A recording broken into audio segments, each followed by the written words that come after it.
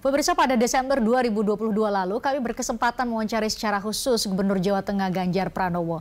Dalam perbincangan itu Ganjar bercerita mengenai sosok Megawati Soekarno Putri yang menjadi inspirasi bagi dirinya dalam berpolitik hingga arti kesetiaannya terhadap PDIP. Berikut cuplikan wawancara kami sekarang kita nunggu-nunggu ini salah satunya partai yang bisa nyalonin sendiri uh, presiden wakil presiden kan hanya PDIP ya. Ibu yeah, iya. ditunggu yeah. sekali ya.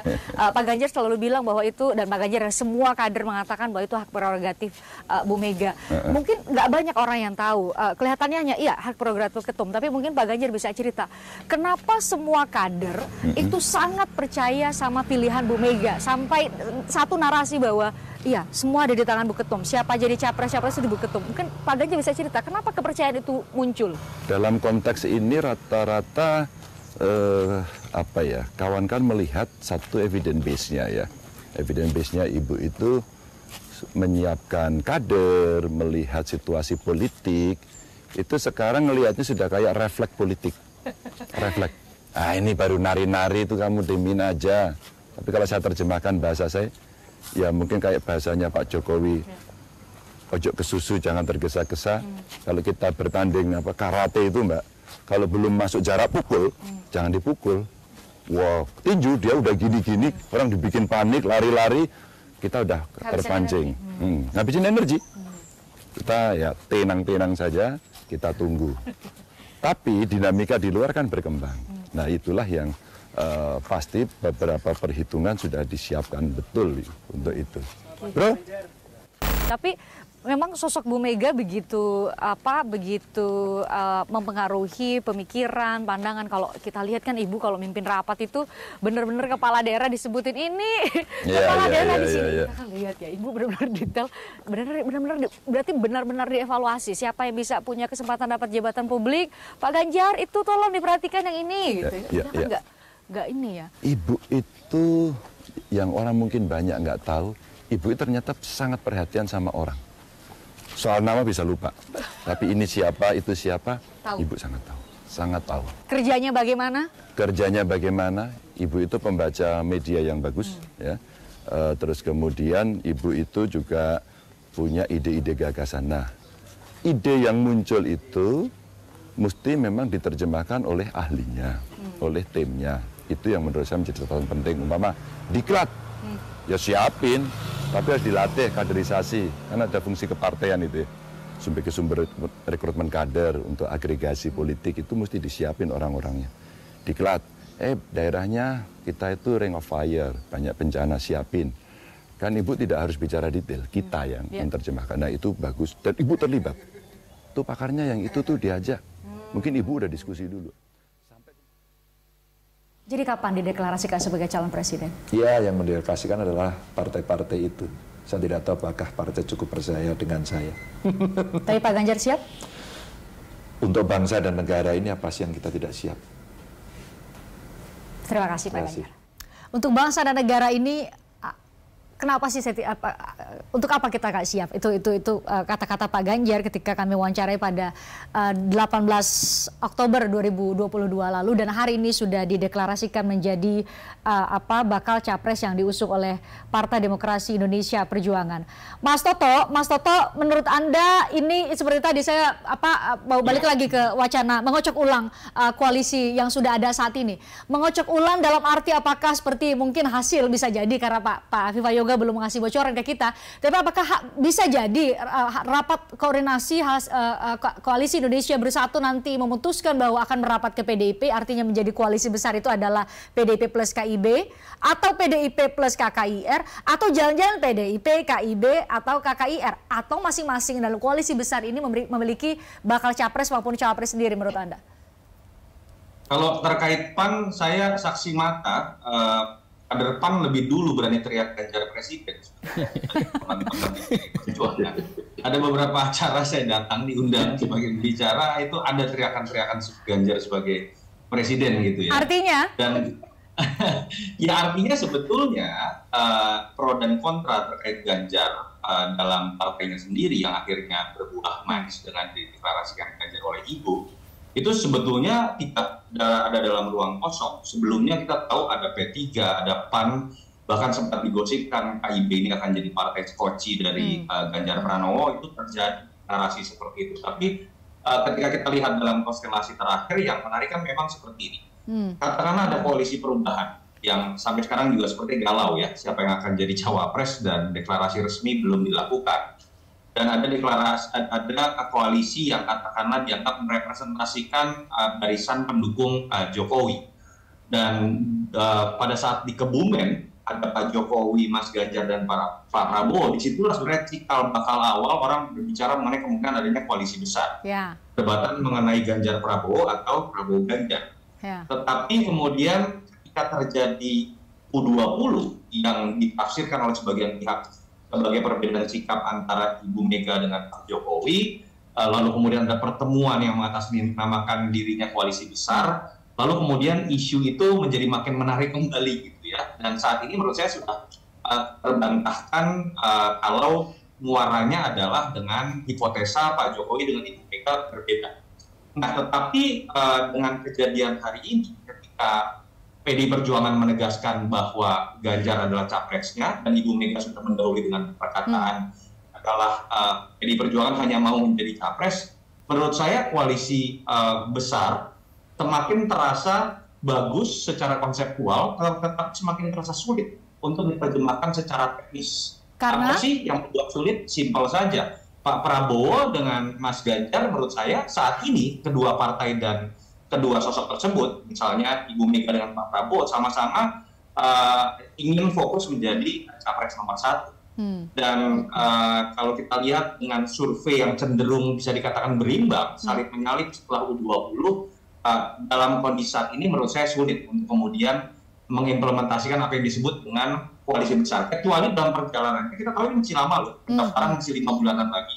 Ada salah satu di antara Ganjar dengan Prabowo yang elektabilitasnya jauh di atas uh, satu dengan yang lain. Di situ mungkin akan jadi hmm. pintu yang membuka kemungkinan hmm. satu di antara mereka akan mengalah menjadi uh, cawapres. Kalau ditanya siapa sih yang lebih mungkin mengalah, hmm. saya kok meyakini uh, modal PDI Perjuangan uh, sebagai partai pemenang utama dan tanda kutip ya kerasnya seorang ibu Mega ketika sudah menegaskan sesuatu menurut saya agak sulit untuk berharap PDI Perjuangan mau mengalah sehingga pertanyaannya sekarang bolanya di tangan Pak Prabowo. Apakah Pak Prabowo mau membuka kemungkinan hmm. untuk bergabung dalam koalisi besar plus dengan PDI Perjuangan tapi harus uh, mengalah menjadi cawapres. Oke, kalau menurut Bang Anas lebih besar kemungkinan mana head to head antara Ganjar Pranowo, Prabowo Subianto atau bisa jadi Ganjar Prabowo atau Prabowo Ganjar?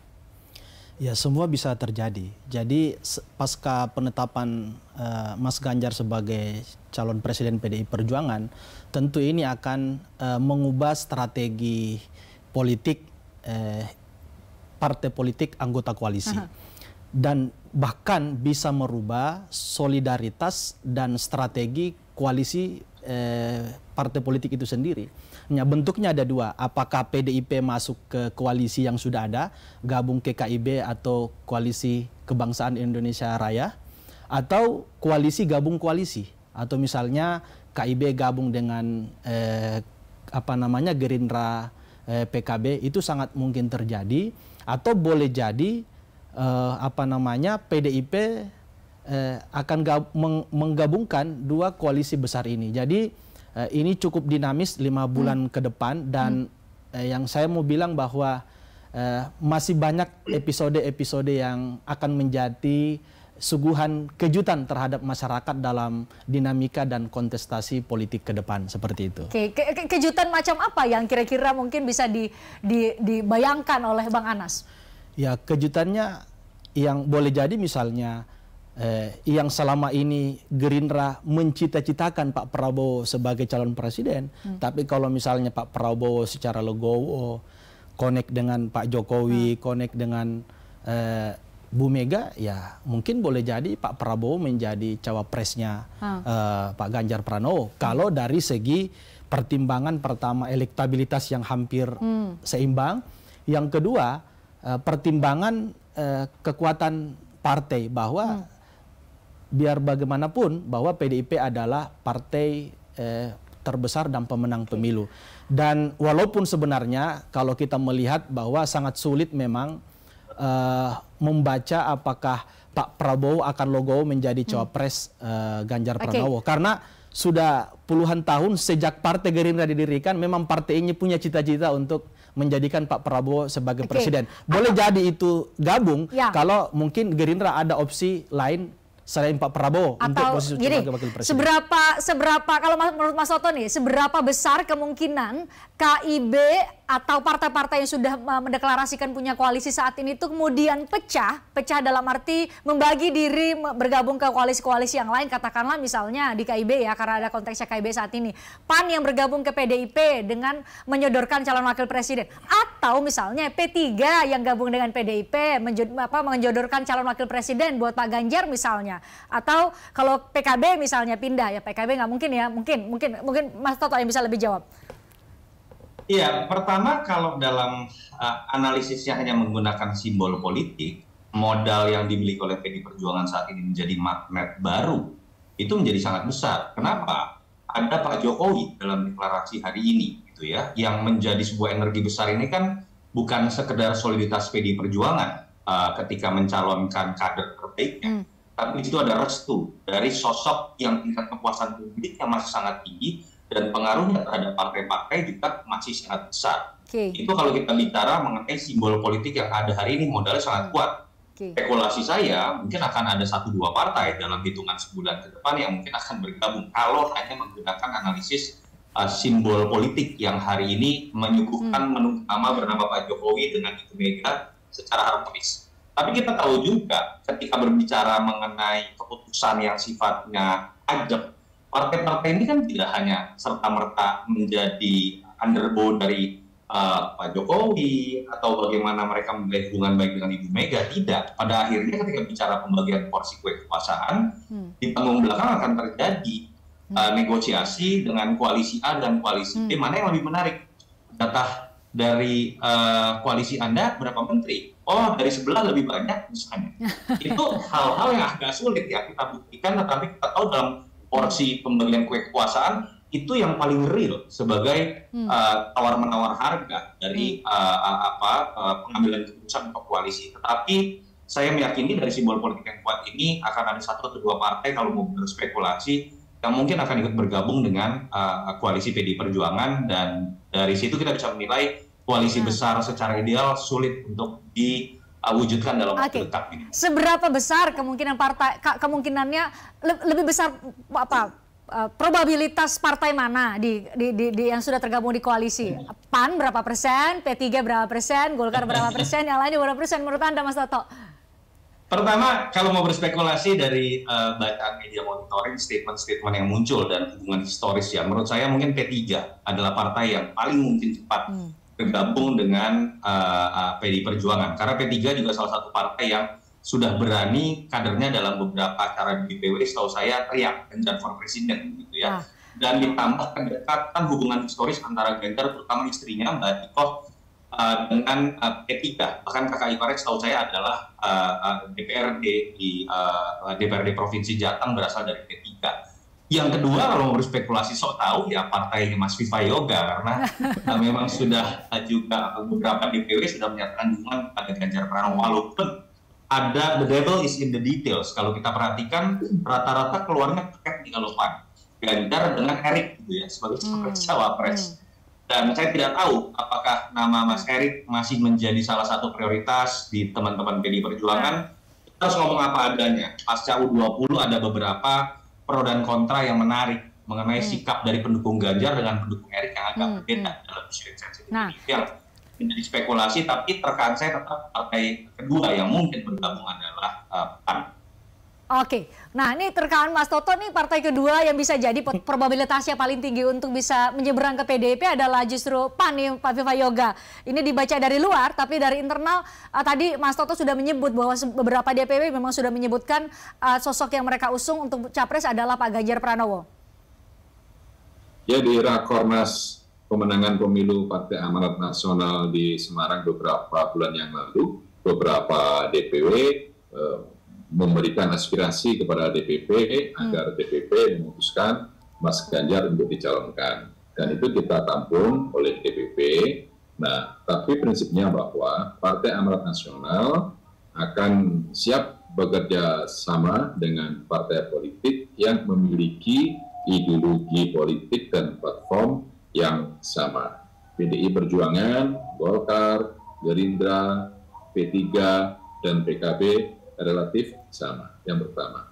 Yang kedua, Desi, eh, asumsinya secara teoritis apabila terjadi penggabungan atau koalisi besar, koalisi kebangsaan, hmm. itu akan uh, mengumpulkan seluruh basis sosial, basis hmm. konstituen masing-masing partai politik. Ini akan memperbesar peluang pasangan calon yang akan diusung secara bersama-sama. Meskipun secara subjektif partai-partai politik telah menetapkan kadernya untuk menjadi pasangan calon apakah capres atau cawapres. Tetapi saya meyakini dengan kedekatan partai-partai politik yang ada di pemerintahan, di mana sebagian besar ketua umum partai juga duduk di kabinet, Bang Zulkifli Hasan, Menteri Perdagangan, Pak ya. Erlangga Menko Perekonomian, Pak Prabowo Menhan, mm -hmm. uh, Pak Mardiono, dan uh, PKB, seluruhnya punya kedekatan, punya kedekatan hati, punya kedekatan persepsi, punya kedekatan pemikiran. Ya. Inilah yang akan mempermudah proses-proses perundingan seandainya hmm. nanti akan terjadi koalisi besar karena okay. Setiap partai politik berkoalisi dengan apa pun punya hmm. cita-cita hmm. untuk menang pemilu presiden 2024. Oke, ini balik lagi nih, berarti masih tetap ada wacana koalisi besar Mas Toto, masih lumayan besar probabilitasnya juga. Oke, saya harus jeda, usai jeda saya akan fokus ke sosok Ganjar Pranowo. Tadi Mas Toto sudah sempat mengenyuplik apa yang Pak Presiden uh, Jokowi sampaikan tadi di, di, di um, saat uh, deklarasi. Pak Ganjar ini adalah pemimpin yang dekat dengan rakyat, selalu turun ke bawah dan sangat ideologis. Mungkin yang bisa banyak cerita ke kita adalah juga seorang Ansi Lema. Tapi kita harus jeda, usai jeda kami akan kembali untuk Anda. Tertarik dengan diskusi saya dengan para narasumber? Saksikan obrolan malam dengan topik-topik menarik lainnya. Jangan lupa subscribe ya channel YouTube Berita Satu. Like, komen, dan share video ini ya. Terima kasih.